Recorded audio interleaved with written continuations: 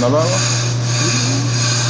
Ah, buenos días, buenas tardes, VIP guests, fieles seguidores de YouTube. Estamos aquí en el torno. Estos tambores se dañaron porque se soltó un resorte.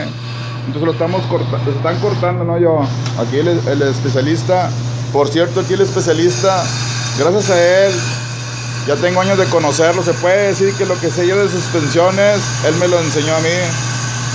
Y me ha dado un chorro de tips de los cuales he compartido con ustedes. Ahí tengo unos de amortiguadores, de resortes. Una vez me hizo que cambiaron los resortes nuevos por los originales porque el carro estaba fallando.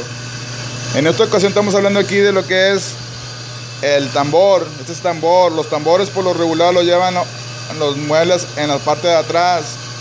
Entonces, cuando se sueltan una de las partes de adentro, se echa a perder lo que es el tambor. Hay que poner balatas nuevas, cambiar los resortitos que llevan ahí y tornear el tambor. Lo malo de tornear es que se va a hacer más delgado. Lo que vemos aquí esto, esto se va a hacer más delgadito. Esto delgado tiene cierta gruesor. Si lo hacemos más delgado de la cuenta, peligramos que se quiebre el tambor o se doble o se haga ovalado. Ese es lo malo cuando tornean los tambores o en su caso los discos. Este lugar pues son expertos nomás en puro en puro es lo que hacen todo el día aquí, puro disco, puro disco. Tambores, discos es lo que hacen aquí tornear y muy pocas personas uh, tienen esa experiencia, esa capacidad, porque más que nada es el equipo el que lo va a hacer. Es el equipo, la herramienta que utilizan. Muchas veces no es la persona en sí, es el equipo. Si el equipo es de buena calidad, son equipos, son muy, estos equipos son muy caros. Es un torno, son carísimos.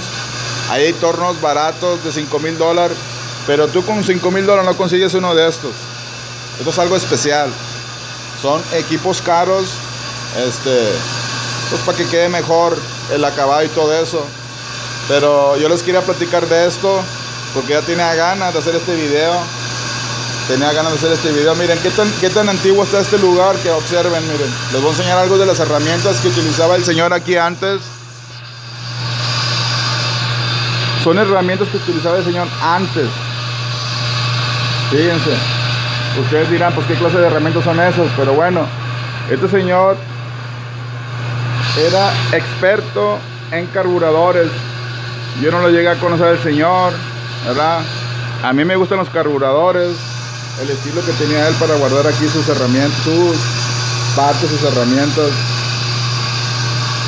Pero yo, yo en la verdad, en, re, en realidad, cuando supe de ese señor, todas las herramientas le llegaron a tirar, la de los carburadores. Herramienta antiguísima que tienen aquí. Son herramientas, aunque ustedes no lo crean, herramientas especiales. Aunque ustedes no lo crean, muchas de aquí son herramientas especial, nada más lo que son para hacer frenos y para torno.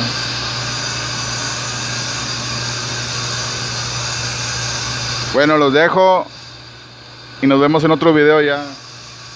Les quise compartir parte de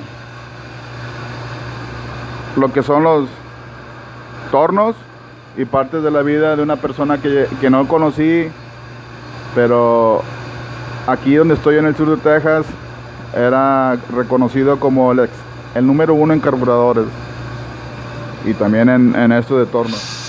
Bueno, nos vemos. Yo soy Luis de Luis Cross Service y estamos para ayudarles. Nos vemos en la próxima.